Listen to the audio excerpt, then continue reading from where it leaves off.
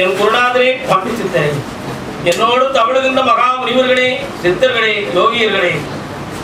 கர்மகாமி உன்னை எங்கிருந்து நினைத்தாலும் எப்பொழுது அழைத்தாலும் அடியேனின் அழைப்புக்கு இணங்கி கருணை கூர்ந்து இருபத்தி ஒரு கூட்டுறவு அறுபத்தி ஒரு பந்திக்காரர்களும் சேனைவகத்து தாரை சூழ்ந்து தொண்டு செய்வென்று சத்தியமானால் வந்து இறங்கி என் வாக்கில் இருந்து சொன்ன வாக்கு பறிக்கும்படியும் நடக்கும்படியும் என் மக்களுக்கு கட்டளை நடப்பா. பட்டினத்தார் திருவடிகளுக்கு ஆயிரம் கோடி வாழ்த்துக்களை கூறி வழங்குகிறேன். மருது பாண்டியரின் அடையாள சின்னம் இருக்கும் ஊர் எந்த ஊர்? மருது பாண்டியரின் அடையாள சின்னம் இருக்கும் ஊர் எந்த ஊர்? சிவகங்கை. சிவகங்கை. சிவகங்கை. காளையார் கோயில் இல்லை. யாரப்பா? சிவகங்கை. சிவகங்கை கரையிலே எந்த ஒரு சிவகங்கை. உள்ள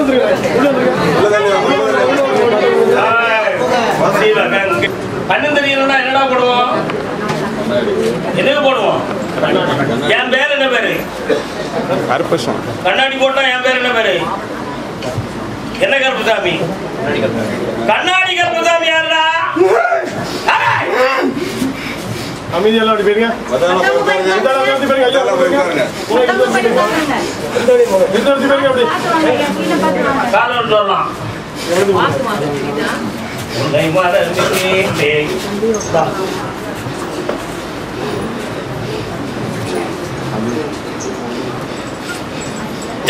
ஜடாமுனி வாங்க உட்கார் என்னடா முனிதுரா எப்படி இருக்க? நல்லா இருக்கியா? நான் நரக்கணப்பா நீ இருக்கும்போது நான் என்ன கவலைப்பட போறேன்? நான் இருக்கும் நீ கவலைப்படா நீ இருக்கும் உன்னை கட்டி சுட்டி உன் குடும்பத்தை கெடுத்தாங்கடா உன் மண்டே நேரில் காண விட்டுவா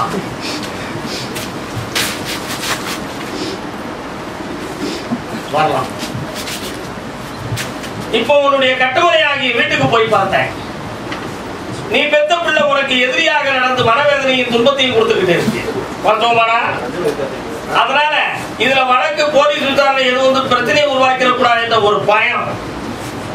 குடும்பத்துக்குள்ள பொம்பளை பிள்ளையால கேவலம் வந்துடக்கூடாதுன்ற ஒரு இடைஞ்சல்.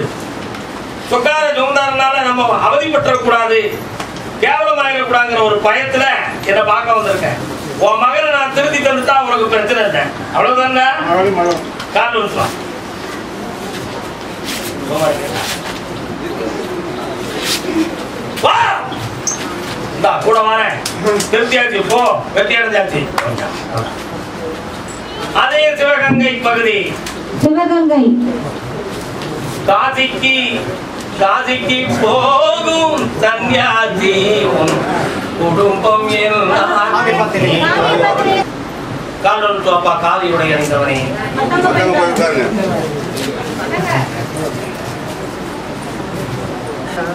நேற்று வரை நீ சுகவாதி காதிக்கு போற ஆடவிடு. என்னை இனிமேலாவது வாழவிடு. உன்னுடைய ஆத்மாவை அறிந்து பார்த்தேன் மகனே. பக்கத்துல வா. பத்தொன்பது ஆண்டுகளுக்கு முன்னால் உன்னுடைய வம்சவழியை சார்ந்த தெய்வங்கள் எல்லாம் உச்சிஷ்டமாக உச்சாரணமாக இருந்தன. உண்மையா? அப்பொழுது உன்னுடைய வம்சவழியில் சாமியாரிகள் ஒரு குடும்பத்தில் உண்டு. குறிப்பிட்ட சில காலங்களுக்கு பிறகு பிரச்சனைகள் ஏற்பட்டு சாமியை ஆற கட்டி கோயிலிலும் இல்லாமல் குடும்பத்திலும் வராமல் சாமியாரியுடைய உடல்நிலைகளும் பாதிக்கப்பட்டு இன்னைக்கு குடும்பம் மூன்று பிரிவாக இருந்து கொண்டிருக்கிறது.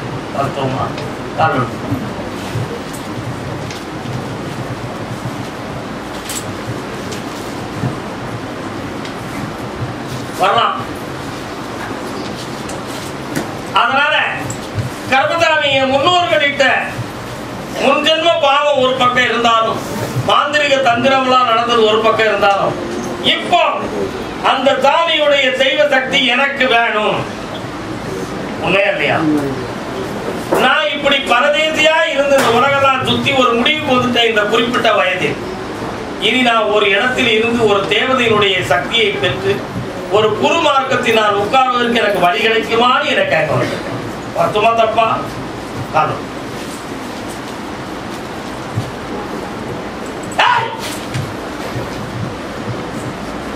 வரலாம்.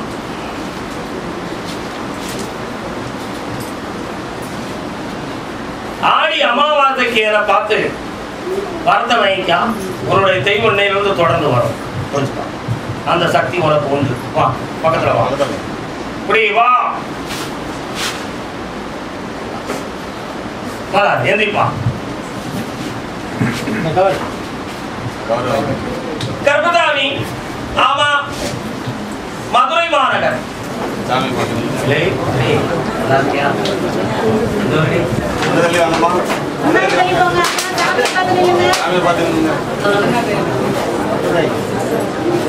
உடல் வியாதியை பற்றி கேட்க வந்தது யார்?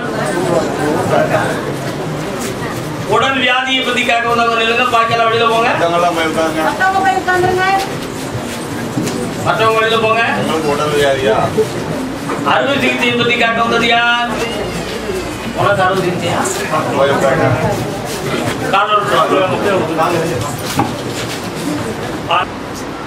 இன்னொரு முறை இருப்பான் நீ வந்து இங்க உட்கார்ந்த உடனே ஒரு வெண்தாடி வேந்தன் வருகிறான். அது யாரு? வெண்தாடி வேந்தன்.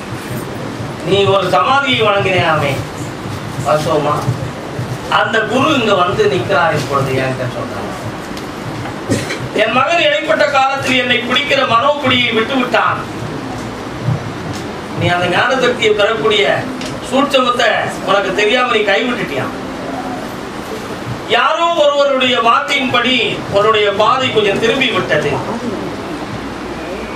குருவுக்கு ஒரு வழி மன குழம்பியவருக்கு பல வழி. இடைப்பட்ட காலத்துல மனம் குழம்பிடுது. அதனால வேற வழி போயிட்ட. பெறவுடைய ஞானத்துக்கு பெற உன்னுடைய மனைவியினுடைய உடல்நிலையை ஆராய்ந்து பார்த்தேன். அது வந்து புற்றுநோய் என்பது உறுதியாக இருக்கிறது. அறுவை சிகிச்சை வேண்டும் என்பதுதான் உறுதியாக்கப்பட்டவை. உடனே நீ ஒரு வார்த்தை என்கிட்ட சொல்ல போற. என்னுடைய குடும்பகான்களும் சித்தர்களும் அறுவை சிகிச்சை இல்லாமல் நான் குணமாக்கிறோம்னு சொன்னாங்களே. அதுக்கும் இதுக்கும் வித்தியாசமா இருக்குது என்ற ஒரு சந்தேகம் உன் உள்ளத்தில் தோன்றுகிறது. அப்படா என் குரு சொன்னது உண்மையா பொய்யா? அப்படின்னு ஒரு கேள்வி வரும். அந்த வார்த்தையை பற்றி கொஞ்சம் விளக்கம் சொல்லலாம். மூலாதாரம் சுவாதிஷ்டானம் மணிப்புரகம் அராகதம் விசுத்தி ஆக்ஞை சகசிராரம் என்னும் ஏழு ஆதாரங்களை பற்றி நீ தெரிந்திருக்கிறாய். ஏழு ஆதாரங்களை தெரிந்தாலும் ஏழு ஆதாரத்தினுடைய கதவுகளை திறக்க தெரிந்ததில்லை. உண்மையா? அப்படி திறக்க தெரியாத பட்சத்தில் மனிதன் நீடித்த தவம் இருக்கிற பொழுது தியானம் இருக்கிற பொழுது தன்னுடைய உள் உணர்வுகள் உள்ளே உந்தப்படும் பொழுது ஒரு சில உணர்ச்சி தன்மைகளால் நமக்கு சில தோன்றல்கள் கிடைக்கும். அந்த தோன்றல் அநாகதமாகிய நெஞ்ச பகுதியில் நிற்கும்.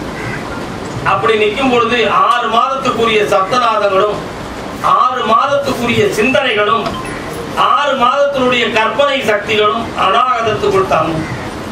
அப்பொழுது தங்குகிற பொழுது என்னைக்காவது ஒரு நாள் நமக்கு ஒருவர் பேசுவது போது ஒரு அநாகத ஒலி ஒரு சத்தங்க. அந்த சத்தத்தை தெய்வத்தின் சத்தம் என்று கேட்டவர்களும் உண்டு. குருவின் சத்தமாக கேட்டவர்கள் உண்டு. ஒரு ஆத்மாவின் சத்தம் என்று நினைத்தவர்கள் உண்டு. ஆனா அநாகத ஒலியில் நம்முடைய எண்ணம் தான் இருக்குமே தவிர ஞானம் இருக்காது என்பதை புரிந்து கொள்ள வேண்டும். அந்த சத்தத்தின் வாயிலாக அறுபது சதவீதம் அந்த சத்தத்தை கேட்டு நீ நடந்ததுன்னா ஒரு சிலது உனக்கு கரெக்டா இருந்திருக்கு உண்மையா? ஒரு சிலது சட்டத்துக்கு மாறுபாடாக இருக்கு அந்த மாறுபாடான விஷயத்துல இந்த ஆபரேஷன் வேண்டாம் என்று சொன்னதும் ஒன்று. நீ அறுவை சிகிச்சை வேண்டாம்னு சொன்னா அது உள்ளே இருந்து வளர்ந்து கொண்டே இருக்கும்.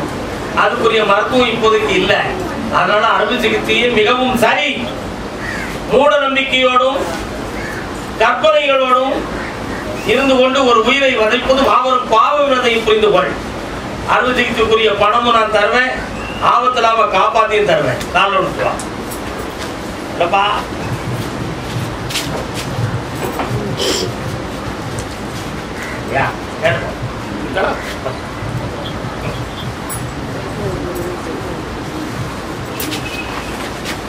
அதே போல ஒரு அற்புதமான இடம் வாங்கணும் அப்படின்னு ஒரு எண்ணம் உனக்கு கொடுக்குறேன்.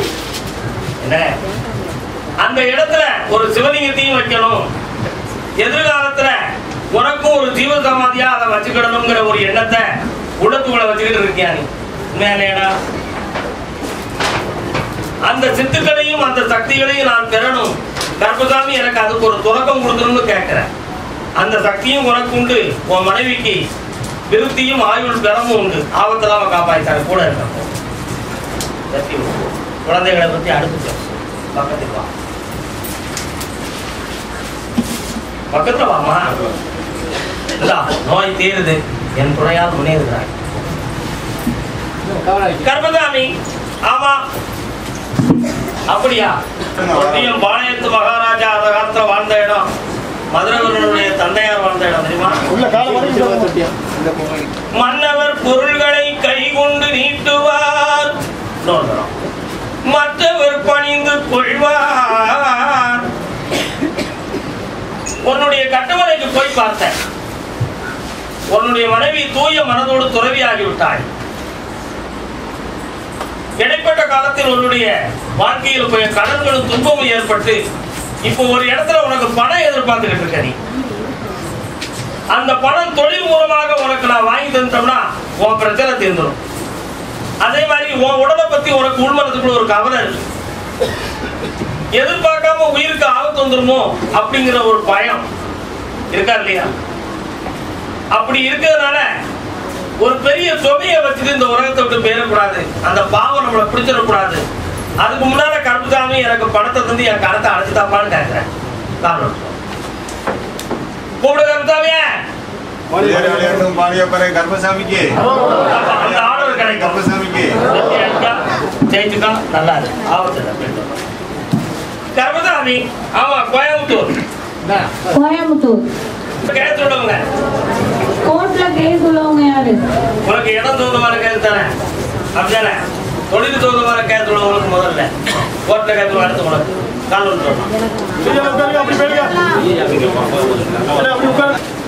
உன் வழக்குல வெற்றி ஆயிடுது. அதனால ஜெயிச்சு தாரேன். கூட இருந்து காப்பாத்துறேன். பயப்படாட்டான் ஜெயிக்கிறான் செவ்வாய்க்கிழமை சொல்றான் சொல்றேன் போய் பாருங்க அதே கோயம்புத்தூர் நீதிமன்றத்தில் வழக்குடையவன். என்னடா வழக்கு உனக்கு நான் சொல்லலாம்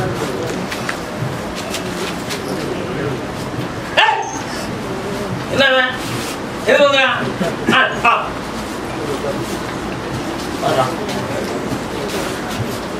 கருப்பராயன் எங்கடா இருக்காரு? கருப்பராயன் எங்க இருக்காரு? சத்தம் போட்டு உன் எல்லையில கருப்பராயன் இருக்காரா? கும்பிட்டுருக்கியாங்க போய் எதிர்த்து வராரு உன்னுடைய வீடு தகுந்தமாக பொல்லாத ஒரு வழக்கோடு இப்ப மாட்டிட்டு முடிக்கிற அதை ஜெயிச்சு வச்சேக்கிட்டு இருந்தா போதும்ல? இப்ப கடன் பட்டு இருக்க மனக்குழப்பத்தோட வாழ்ந்துகிட்டு இருக்க. அதனால மனைவி எங்க இருக்கா? அவளுடைய உடல் ஆரோக்கியத்திலையும் குறை இருக்கு. இப்போ ஒரு இடத்துல பணத்தை எதிர்பார்த்து தொங்கிக்கிட்டு கிடக்கியா நீ? பார்த்தோமா காண்பிடுவோம்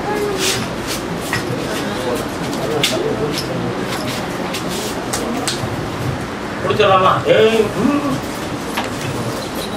வரலாம் வரலாம் வரலாம் வரலாம். இந்தா வெட்டியாக்கிட்டாரே பொறுமையாக சேர்த்துட்டா ஓடு. கர்மதாமி திருத்தி. குழந்தவரை கேட்க யாரு? குழந்தைவரம் போய் கட்டுமனைக்கு போய் பார்த்தேன். ஊருக்கு வணக்க ஒரு கம்மா. அம்மா கரையில நான் முத்துக்க இருப்பேன். இருக்கனா? உன் குடும்பத்துல ஒரு கன்னி தெய்வம் இருக்கு. அந்த தெய்வம் உங்க குடும்பத்துல இப்ப பிரிஞ்சு கிடக்கு நாலு பிரிவா. அதுல கொஞ்சம் ஒற்றுமை குறைவு வேதனை நடக்கு. பதிமூணு வருஷமா குழந்தைக்கு போராடுறீங்களாம். அப்படிதானே அதனால இப்போ மருத்துவத்தார குணமாகுமா? ஒரு குணமாகுமா? அப்படி கே- அப்படி கேட்க வந்திருக்கேன். கால் விட்டு என் அருளால் மருத்துவத்தால் இவனுக்கு குழந்தை பாக்கியம் கிடைக்கும் கால் விட்டு வா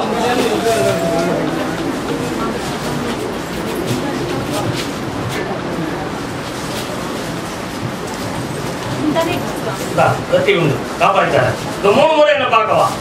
வாங்க. போயிட்டாப்பா கர்மதாமி ஆமா. அதே திருச்சி மாநகர். சைடு போங்க, அடுத்து கூப்பிட்டு போது வாங்க. வாப்பா. உன் மகளை பத்தி பேசணுமா? அவங்களைய பத்தி பேசணுமா? மகளை பத்தி பேசணும்.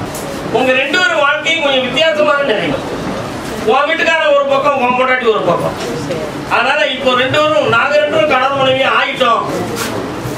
அதனால எங்களுக்குள்ள எந்த பிரச்சனையும் வந்துட வந்துடக்கூடாது. எங்களுக்கு ஒரு பிள்ளை பிரச்சனையா இருக்கு அந்த பிள்ளைய நல்லாக்கி வாழ வச்சு தரணும் கேட்கணும். அதனால அந்த பிள்ளையுடைய மனத்தை பக்குவப்படுத்தி தந்தா போதுங்களா? ஆபத்தில்லாம ஆக்கி தந்தா போதுங்களா? இப்போ உனக்கு தொழில போய் நஷ்டம் இருக்கு. அதனால இடம் விட்டு இடம் போகணுங்கிற விதி ஓடிக்கிட்டு இருக்கு. அதுல குழப்பம் இல்லாம ஆக்கி உன் பிள்ளைய திருத்தி வெற்றி ஆக்கி தரேன் யார் வந்துட்டா யார்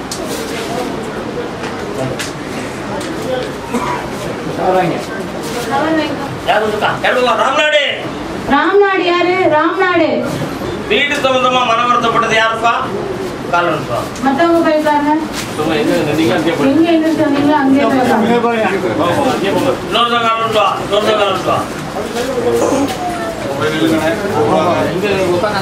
என்னடா உனக்கு? உன்னுடைய கட்டுமனை எல்லைக்குள்ள போய் பார்த்தேன்? என் தங்கை காணியினுடைய அருள் பெற்ற இடம் அந்த பகுதி.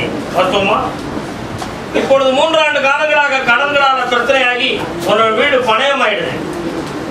அதனால அது மீண்டும் கிடைக்குமா கிடைக்காதாங்கிற ஒரு பிரச்சனையும் மீட்டதுக்கு வேண்டிய வழியும் வகுத்து தரணும் என்பது உன்னுடைய செய்தி தாரேன் பணமும் தாரேன். நல்லா.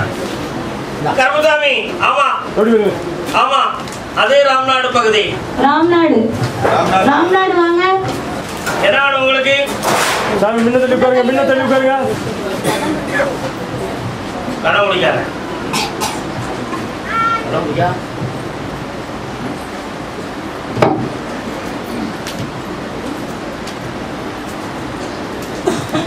அப்படியா? அப்படியா? கால் விட்டுறோம்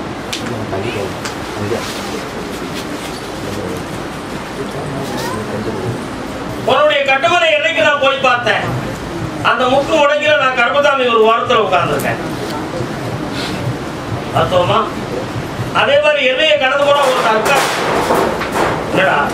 இருக்கா? இப்போ இரண்டரை முக்கால் ஆண்டுகள் இரண்டே முக்கால் ஆண்டுகள் பொல்லாத கிரகத்துள்ளவையான கடன்களும் மனவேதனையும் பட்டு நோய்படியால் வாடிக்கிட்டு இருக்கலாம் அதனால இருக்கிற பரிமையுமோங்கிற ஒரு கவலையும் துன்பமும் உள்ளத்துல ஓடிக்கிட்டு இருக்கு. இந்த கடனை நீக்க உங்களை மதுமொழி தந்தா போதுங்களா தனியை கொண்டு போய் பணம் கிடைக்கும். கடனை தீர்க்கிறேன். கட்டி விட்டு வேற என்ன வேணும். உடம்ப காப்பாத்தி தரேன். இந்த கர்மசாமி தெக்க பாவநாசம். எழுந்துருங்க. சாமியை கும்பிட்டு நில்லுங்க. பாவநாசம்? வாங்க உன்னுடைய கட்டுமனைக்கு போய் பார்த்தேன். கட்டுமனைனா நீடா? வீட்டுக்கு இடையில துணமன சாமியுடைய பார்வை இருக்கு. உன் வீட்டுக்குள்ள ஜெய் ஆஞ்சநேயா என்னும் மகத்துவமான சக்தி உள்ளுக்கு வந்துகிட்டு ஆஞ்சநேயனை கூப்பிட்டா பிரம்மச்சாரியம் ஆயிடுவோங்கிற ஒரு பயம் உள்ளது இப்போ பொண்டாட்டி ஒரு பக்கம் நீ ஒரு பக்கம். ஸ்ரீராமருக்கு தூது போய் ஆஞ்சநேயர் சீதையை தேடி வந்த மாதிரி என் பொண்டாட்டியை சேர்த்துற மாட்டாரான்னு ஒரு கவலை ஒரு காலத்தில் இருந்துச்சு. இப்போ அவன் உன்னை விட்டு போனா போதுங்கிற இடத்துல நீ வந்திருக்க. உண்மையா? காரணம்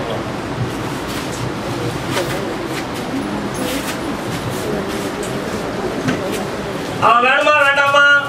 வேணும். அவன் வேண்டாம்னு சொன்னா நான் என்ன செய்ய? ஒரு முடிவு எடுத்துடலாமா? இன்னொரு மூணு வாரம் பார்க்கறதுக்கு வா. அவளை போலீஸ் ஸ்டேஷனுக்கு போக விடாம உன் பக்கத்துல எடுத்து கொண்டு வச்சாங்க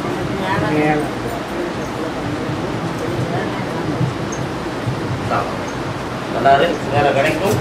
தேடிக்காது காப்பாத்தி தரேன். இருக்க இடம் அடுத்த மாதம் கிடைக்கும். போயிட்டு வாங்க.